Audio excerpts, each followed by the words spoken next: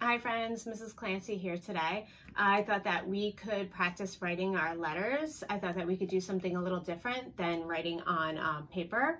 I have this tray in front of me. We have some salt in it. I thought that we could practice writing our letters in this. You can do this at home. You can use any kind of art tray or a baker's tray, and you can use anything. I use salt, but you could use sugar, you could use beads, you could use sand, anything at home to do something different with forming your letters. And then what I also have over here is letter cards. So I'm gonna flip over the letters and then we're going to practice writing our letters. So the first letter I flipped over is the letter M. So you would start at the top, straight line down, come back up, you would go down, push up, and then another straight line down.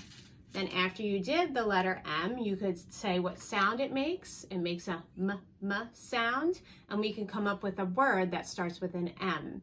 So I'm thinking m, m, mom is a good M word. Then you could shake out your tray and you can move on to the next letter. The next letter that we have is a capital A. So let's make a diagonal line down, come back up, do another diagonal line, and then do a little line in the middle to connect to make your capital A. And the capital A makes a uh, uh sound or a ah, ah sound. So let's see if we can come up with an A word. I'm thinking apple is a good A word. Let's shake our tray and move on to the next letter. The next letter that I have is the letter B, and it's a capital B. We start at the top, straight line down, we come up, we do a circle, half a circle, and then do another half a circle to connect to the bottom. And B makes a b, b sound. And let's think of a B word. I'm thinking b, b. Let's shake out our B and look for our next one.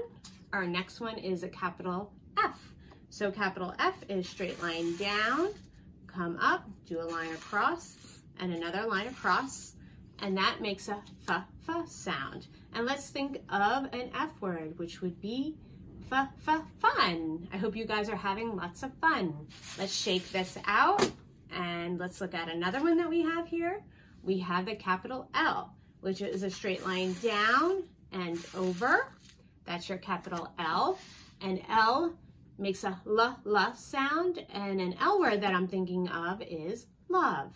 I hope you guys love doing this activity and hope to see you soon. Bye guys.